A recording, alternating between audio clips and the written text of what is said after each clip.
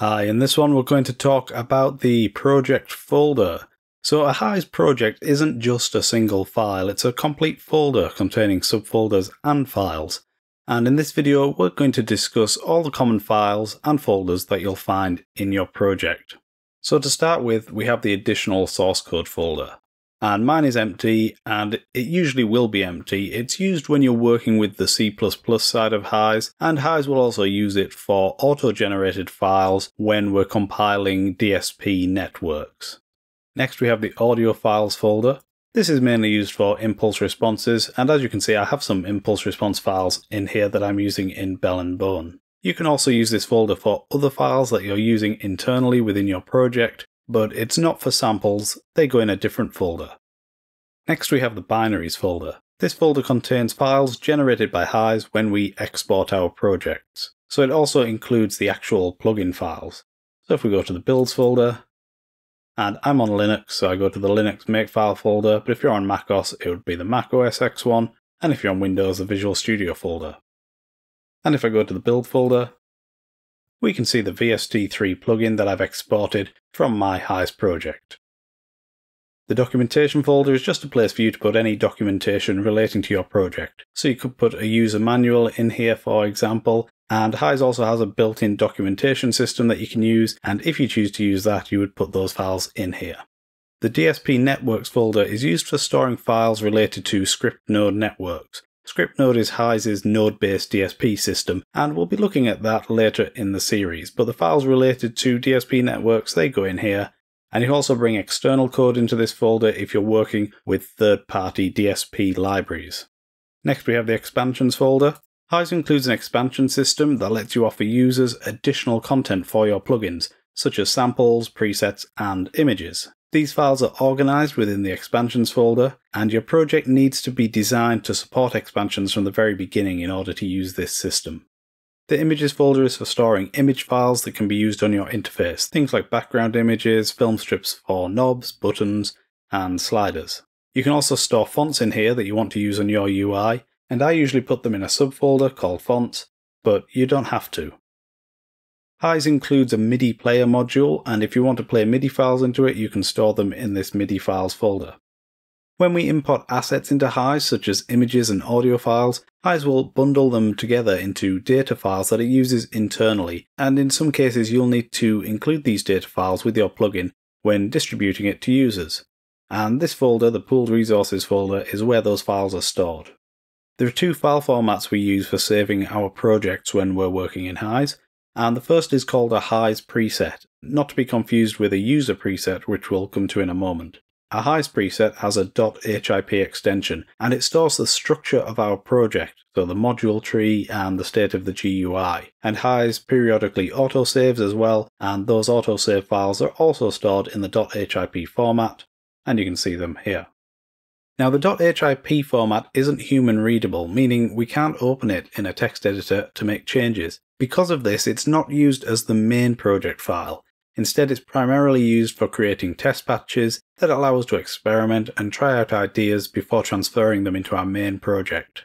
So you can see I have a bellandbone.hip, so that is my main project file, but I wouldn't depend on this file because if it became corrupted, there's nothing I can do to fix it because I can't open it in a text editor to solve the problem but mostly I use the HIP for creating little test projects. So you can see I have one here called MIDI Learn Test. I have one here called RT Test. I have one for sample mapping, table save test. So I have a lot of these little test patches when I'm just trying things out and I'm just experimenting. And I often make one specifically for sample mapping because sometimes you just want to work in an isolated project while you're figuring out how you're going to map your samples. Okay, let's have a look at the sample maps folder. So one of the great features of HISE' sampler module is that the sample mapping data isn't embedded within the sampler itself. Instead, it's stored in separate sample map files, like the ones we see in this folder. Since these files are independent from the sampler module and they're formatted as XML, it means they can be easily shared between projects and edited in a text editor. We'll be exploring sample maps in more detail later in this series, the samples folder is where we keep the audio files that we want to load into the sampler within HISE, and we can store them in subfolders to keep them organized. So for example, I have a trumpet subfolder here, and within that I have further subfolders to organize the samples by articulation. and then in these subfolders I have the actual wave files. When we compress our samples using HISE's lossless compression, the resulting monolith files are also placed in this samples folder, and that's these files here with the .ch1 extension. These are the monolith files created from my wave files. You should always keep your project samples in the project samples folder.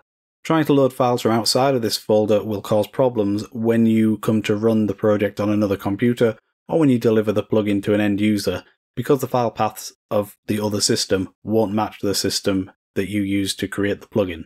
So this is the scripts folder and HISE encourages a very modular approach, allowing us to break our code into multiple smaller scripts that handle specific tasks rather than relying on one large script. And this folder is where the script files for our projects are stored. When we create a new project, HISE automatically generates the script processes folder, and in here it has another folder with the name of our project, and in there it has an interface script and this is the script that's used to display the main interface of our project. So this file is created automatically, we don't need to set it up manually.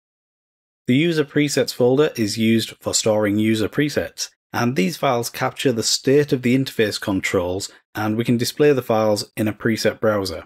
So if I go into this folder called factory and then into this folder called default, we can see I have two preset files. So these have the .preset extension. When the user loads a preset from the preset browser or from some scripting that you've implemented, the interface controls are restored to the exact state they were in when the preset was saved. While presets only save and recall the state of controls, things like buttons and knobs and sliders, those controls can be scripted to trigger additional actions. This makes it possible through scripting to have a preset load a sample map or switch background images, for example. Despite the name, the XML preset backups folder is actually where our main project file is stored. The project XML is a human readable equivalent of the .hip file we looked at earlier, and this stores the structure of our project, so things like the module tree and which sample maps are currently loaded into which samplers. The GUI layout is stored separately in its own XML file within the UI data subfolder. Unlike the .hip files, it's best to keep just one XML per project. If you need to track different versions of your project, you should use a version control system like Git instead of creating multiple XML files. So stick to just one XML file per project, and managing your project will be much easier.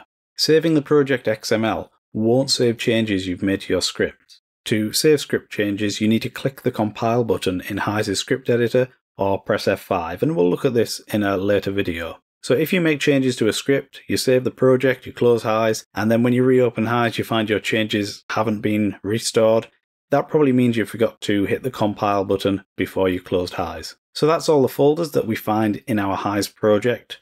We do have a couple of additional files as well, so this one expansion info, this one project info, and this one user info. These are auto-generated when we make changes in the settings panel in HISE. This license file is one I've added and I recommend you add a license to all of your projects so that when you're sharing your project, it's clear to other people what the terms and conditions are regarding using your code and samples, etc. If you want more information about HISE project management and how projects are structured, I recommend checking out the HISE project management documentation. You'll find a link to it alongside this video. So that's an overview of the HISE project structure. Head over to the next video and I'll see you there.